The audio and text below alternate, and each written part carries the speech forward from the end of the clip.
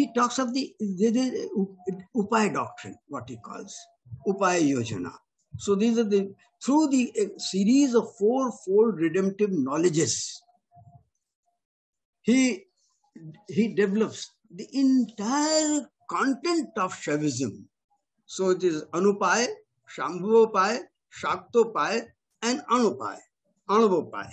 Now, Anupaya now, what is he He integrates this tantric philosophy with Shaivism, with philosophy, and with mainstream philosophy. Uh, you can say the philosophy proper of Shaivism and that Pratyabhigya. So this Anupaya is Pratyabhigya. So he relates Pratyabhigya with Anupaya. And of course, the Anavopayas are the yogic practices.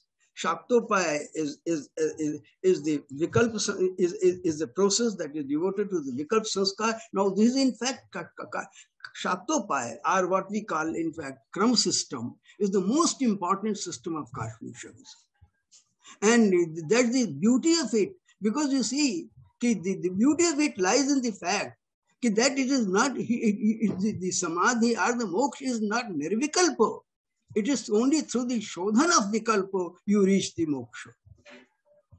And uh, again, you see, now, in, in developing this notion of Agama Tattva and Tantra Tattva, he says that now this system, this Agam is ditpravaha.